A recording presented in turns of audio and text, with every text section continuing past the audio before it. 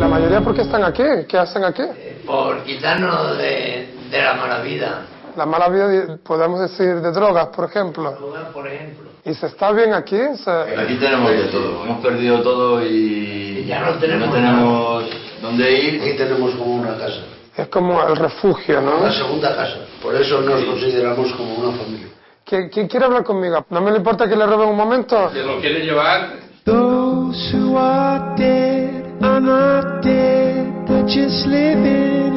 ¿Cómo llegas aquí? ¿Por qué te pasa todo? Cuéntame un poco de tu vida. Pues nada, lo, es lo típico, es como todos. eh, empiezas tonteando con 14 años.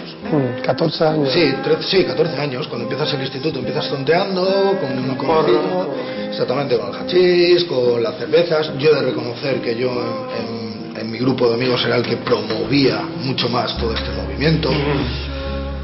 Y, y bueno, y que me quería comer el mundo y, y que no. Y el mundo te Y. Me comía a mí totalmente.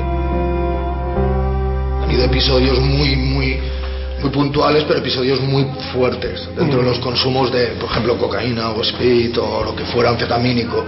Pues claro, el sistema nervioso ahora lo tengo destrozado, ansiedad, ataques de pánico, problemas. Tengo muchas eh, patologías que son crónicas, tengo una necrosis en el húmero, o sea, se me está deshaciendo el hueso. ¿Eres positivo?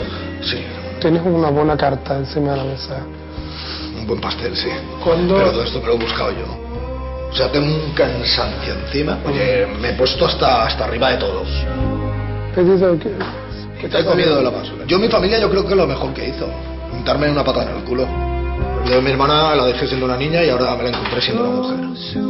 Había una vez que faltaban dos o tres días para cobrar y no tenía dinero, estaba pidiendo para un café con leche, mentira, estaba pidiendo para las nueve cuando abrieran el supermercado comprar cerveza. Venía una pareja y voy, les entro y, y, y, para mi sorpresa que es mi hermana. Cayó el mundo del suelo y claro, mi hermana me dijo, pero José, Hostia, qué fuerte. y yo claro, ya me quedé y dije, hostia, Susana. Dio cinco euros, me dijo que hiciera algo, que así no podía, además estaba hinchadísimo, como si me ves ahora era como cuatro veces yo. Sí, esto me hizo reaccionar a la última vez. O sea, no, se fue el resorte. Yo ya quería hacer algo. Yo ya veía que yo ya tenía que hacer algo. Yo me levantaba vomitando y temblando. Con eso te lo digo todo. O sea, me levantaba vomitando y temblando. Hasta que no me bebía una copa de hierba o lo que fuera. fuerte.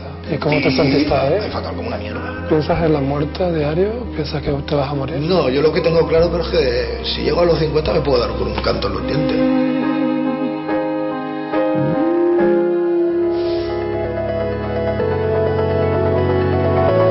Los amigos de aquí Sí. son yonkis. Que son todos yonkis. Y nosotros sufrimos mucho por ellos, porque son los únicos enfermos Sí.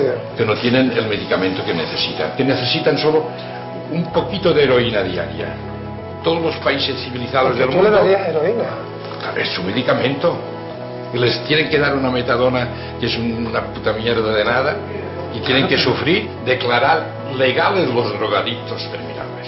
Con un gramito de al, al- al amanecer funcionarían como Dios. Dios también creó la heroína. No sé qué chute se dará Dios, pero para aguantar.